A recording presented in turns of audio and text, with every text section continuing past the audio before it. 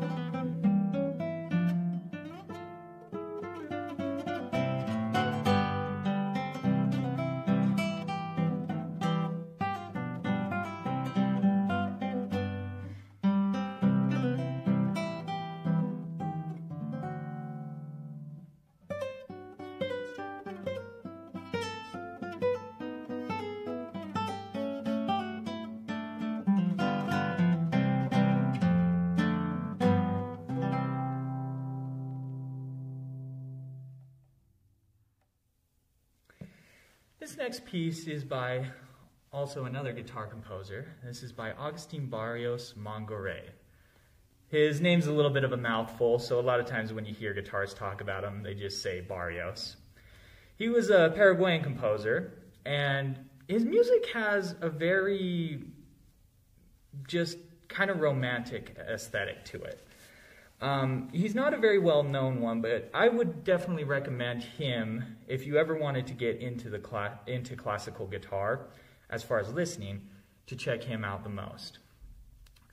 This piece is called Tu Imagen, which just basically kind of roughly translates to like your persona, your image.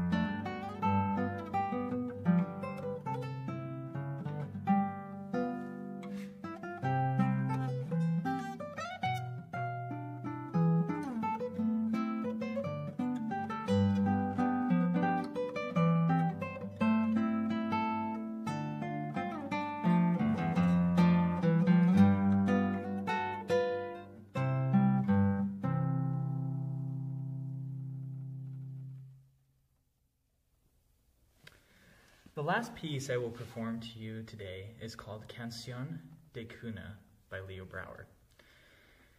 Canción de Cuna just pretty much means lullaby. Now, Brouwer is an interesting figure because he lived a very interesting life, and his story is kind of a rag to riches one. When he was growing up, he was raised by a single mother. And by about age 12, his mother had died. And he grew up from that point in an orphanage. While he was in that orphanage, he wanted to do some soul searching, and he wanted to find out who his biological father was. He found out that his father was a street performing guitarist. And that inspired him to learn the guitar himself. Starting off poor and in an orphanage, he eventually became a great virtuoso guitarist and even a great composer too. He traveled to the U.S., went to Juilliard, and studied um, composition. Now, and to this day, he's a very important figure in Cuban culture. But what's interestingly enough is the most famous piece of his is actually an arrangement of this lullaby. And this lullaby was the one that his mother would sing to him every night before he went to bed. So here is Canción de Cuna, a traditional Cuban lullaby arranged by Leo Brouwer.